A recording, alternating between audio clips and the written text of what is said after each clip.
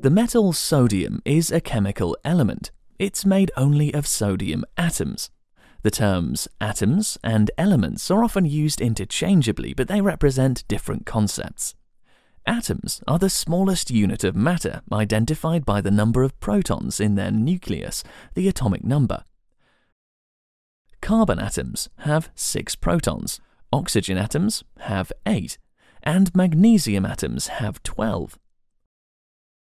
A chemical element is a substance made entirely from one type of atom, so the element magnesium has only magnesium atoms with 12 protons. The element bromine has only bromine atoms with 35 protons. And the element nitrogen has only nitrogen atoms with 7 protons.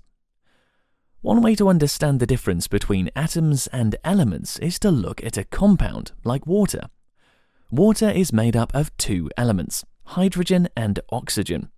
But each water molecule is made of three atoms, two hydrogen and one oxygen.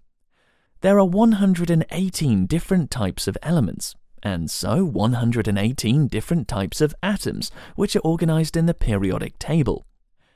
At room temperature, most elements exist as solids, only two are liquids, bromine and mercury, and the rest are gases but mostly we classify elements as either metals or non-metals based on their general physical and chemical properties.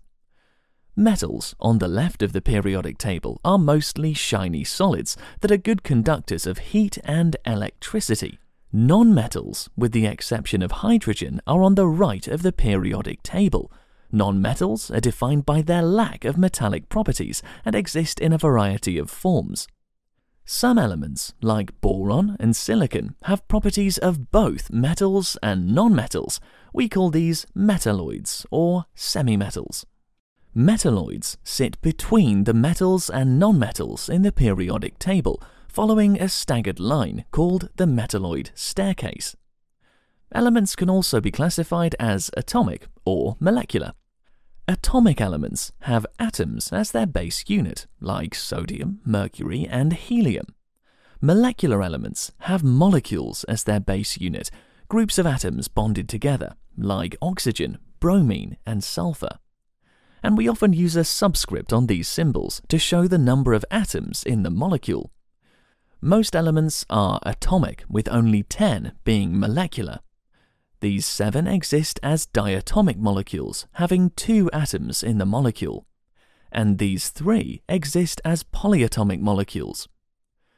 So, in this video we've looked at the difference between the terms atoms and elements.